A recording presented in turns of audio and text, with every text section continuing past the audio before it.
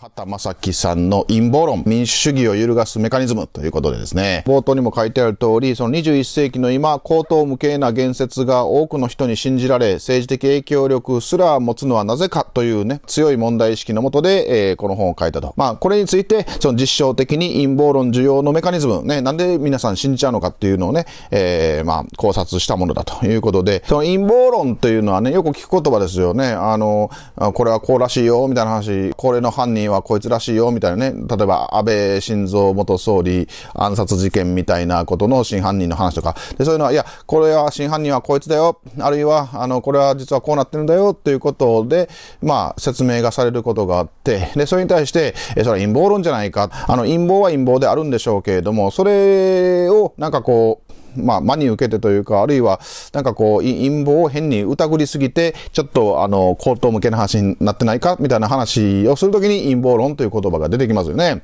で、この本ではこういうふうに定義しています。えー、政治や社会において重大な事件、出来事が起きた究極的な原因を強い影響力を持つ二人以上のアクターの秘密の企みで説明しようとする試みと。どうでもいい事件とかは陰謀論は発生しません。影響力のある人間に関するあの事件や出来事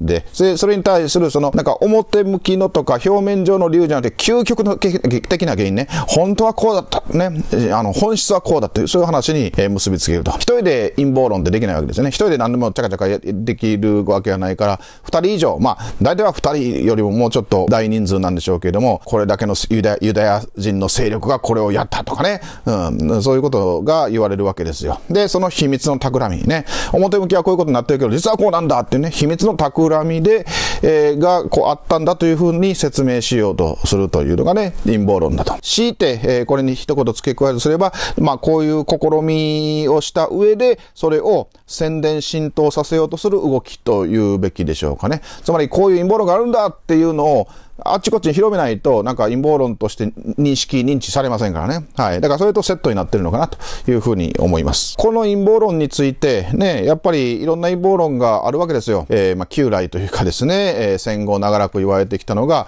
まあ、真珠湾攻撃をルーズウェイトが知ってたんじゃないかっていう陰謀論。あるいは、えー、田中角栄の6キロ事件っていうのが、あれははめられたんじゃないかっていう陰謀論。安倍元総理を暗殺したのは、実はもう、なんかどっかの国が、あの、大々的にいろんなことを仕組んでやったんじゃないかっていう陰謀論ね。えー、いろいろあります。で、そういうものが、例えば全て口頭無形かというと、そうじゃないところもあるわけですよね。えー、ただ単に、本当に、あの、特定の人が、なんか本当に口頭無形な話をでっち上げて、しかも周りの人がそれを信じちゃって拡散しちゃったっていうものもあるんですが、一方では学術的にもしっかりと考察されていて、えー、まあ、まあ、もはや陰謀論の域を出てるような話もあるわけです。真珠湾攻撃の話は本当に学問的にも今まさに議論されてますからね。だからあれは単なる陰謀論で片付けられないんですけども、逆に単なる陰謀論で片付けられちゃうやつもあると。それを見分けるためにはどうしたらいいか。で、そもそもまあ見分けないといけないという話に、え、なるわけですよね。一方ではなんかそういうのを必要とするというかね、陰謀論を好む人たちもいると。つまり、本当にそうかっていう深く考えることなしに、なんかちょっと食いついちゃう。ね。あの、なんか、ちょっと、うまく説明できそうな話、こうこういう定義にのっとってうまく説明できそうな話があると食いついちゃうとかね。あるいは自分が嫌いな人を貶めるようなことにつながるような話であれば食いついちゃう。例えば、まあ何でも安倍さんが悪いみたいなことを言ってたような勢力がいて、なんかもう何でも安倍さんが、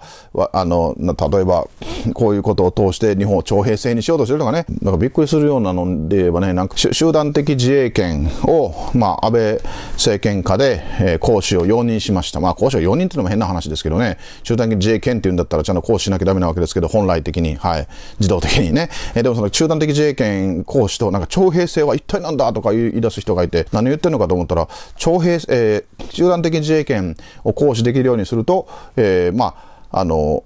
戦争に参加する、えー、可能性が高くなる、あるいはそういうあの頻度が高くなるから、えーと、自衛隊に犠牲が出るようになるだろう。とすると自衛隊員は、えー、みんなやっぱり自衛隊を辞めてしまう、なんか怖くて辞めてしまうと。で、そうなったら自衛隊員が足りなくなるから、国防力が足りなくなるから、徴兵制、うん、23順に馬鹿げた話なんですけどね、うん、そもそもなんかこう戦場に行くのは怖いから自衛隊辞めるそんな自衛官がね、いるんですかと、だから自衛官を馬鹿にするの大概にしなさいという話もあるし、徴兵制をしたら、じゃあ自衛官が辞めて穴埋めになってすぐに国防力が強化される、そんなわけありませんと、もう23順に自衛官をなめんなという話なんですけれども、で、そんなものがね、なんかこう、パッと見、なんかこう、安倍さんが悪い、安倍さんはとんでもないことを考ええてる、実行しようとしてるっていう話、えー、だからということでも食いついちゃう人がネット上にいるわけですよね。陰謀論っていうのは日本が悪かった、日本が歴史的にね、悪い戦争をしたっていうのを払拭しようとする保守、右翼の専売特許みたいに言う人がいるんですけど、いや違うんですよ。結構リベラルの人もね、そういう陰謀論を言ってます。とはいえ、やっぱりこう陰謀論で気持ちよくなるというか、なんか俺はお前らの知らないことを知ってるんだぞっていうようなね、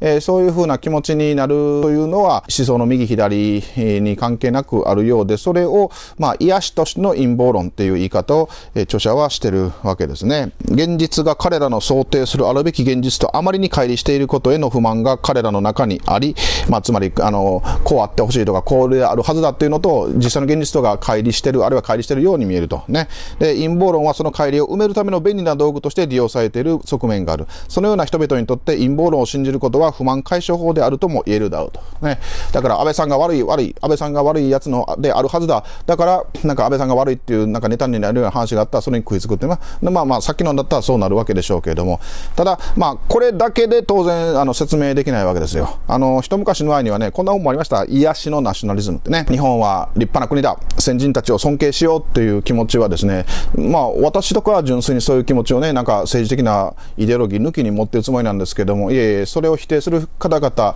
えー、学者にとってはですね、それは癒しだからと。ね。日本が立派な国だと思い込むことで癒しになるんだ。ね。不満、不満のはけ口になるんだって、そういうふうなちょっとね、素直じゃない見方をしちゃう学者も結構いて、なんかこういうのがベストセラーになっちゃうわけですけれどもね。うん、ただ、いや、でもそこを癒しと言い出すと、なんかこう、あの、日本という国の存続に関わる、あの、根本の意識、ね、あの、我々が持ってなきゃいけない意識すら否定することになっちゃいますから、あの、その癒しという言葉には私は注意が必要だと思ってるんですが、まあ当然、えー、著者はこの、い、すべてが癒しだとは言ってません。癒しで側面もあると。癒しのはけ口のツールとして、やっぱり著者が当然注目するのはソーシャルメディア。そういうものというのの親和性が高い、あるいは高いと言われてるということなんですけれども、まあここで注意しなきゃいけないのは、あの思想の右左関係なくよく言われるんですけれども、やっぱり陰謀論っていうのはソーシャルメディアをたくさん使う世代が、なんかネット上で拡散されたあの情報を見て、えー、ついつい信じ込んじゃったり、信じた上で自分も拡散しちゃったりとかね、えー、そういうふうな構図で捉えることが多いし、で、ソーシャルメディアをよりたくさん活用しているのは、まあ、あの、年取った、まあ、年配の層よりも若年層、若い人たちだから、若い人たちが陰謀論にはまりやすいようだというイメージがついついついてしまうんです。えしかしですね、まあ、ここはこの著者のあの本領発揮ですね、本当にあの、細かくデータ化するわけですよ。まあ、アンケートなど質問をして、その結果ね、まあ、もちろんこれが全てとは言いませんが、一つの考察として著者はこういうふうに結論付けています。若年層ではツイッターの利用頻度が高いほど、ミドルシニア世代よりもはるかに大きく陰謀論的信念が低くなっている。つまり、ツイッターを たくさん使えば使うほど、まあ、ツイッターを、あの、しょっちゅう使う若い人の方が年長の世代よりも、その陰謀論に対する信念が低く、つまり陰謀論に惑わされないと言ってるわけですよ。これ、一般のイメージとちょっと違うでしょ？ツイッターをもうとことん利用してる若い人の方が、まあ陰謀論も入ってくるけど、陰謀論を否定する話も、にも触れるわけだから、それでまあ折衷して、それなりのまあ冷静な見方を身につけている方向性があると。で、逆に、あの、ツイッターとか、あの、フェイスブック、まあフェイスブックとは書いてませんけれども、おそらくそれも含めてね、あの、SNS を、まあ中途半端に利用する世代の方がですね、パッと目に入ってきたたのがまずなんか意識がいっちゃって、で、それを打ち消すような話を、で、なんかこう、頭の中を中和する前にですね、なんかまあ、拡散しちゃったり、信じ込んじゃったりするってね、まあそういうことなんでしょう。まあ、だからそういう意味で SNS を利用してる若い人がバカだから陰謀論を信じちゃって、わーって拡散、あの、なんか軽率に拡散しちゃうって、そういうイメージは、あの、必ずしも、あの、根拠がないということがわかるわけで、で、まあ、そういう、そ、そ、ここ、ここはね、あの、この本、あの、の一つのポイントになってるわけです。著者もね、ソーシャルメディアと陰謀論需要の関係性で特に注意が必要なのは若い人というよりもむしろミドル層以上の年配の人々であると言うべきだろうというふうに結論付けてます。まあもちろん別の議論や別のなんかあの実証結果もあるかもしれませんが、そこはね、これからも議論が展開されていくと思いますけれども、先入観みたいなものはまず捨てていただきたいということになるわけですね。こういうものを総称して SNS 悪玉論というね、えー、言われ方をしてるわけですけれども、SNS のせいで陰謀論が広まってるというわけでも必ずしもないと。だから SNS がない時代でも陰謀論は結構いろいろ幅を利かせてる面もあったし、ね、SNS を使う若者だから陰謀論をあの軽率に信じるというわけでもないというね、ちょちょっとそこは頭の中フェアにした上で進めていきたいわけですけれども。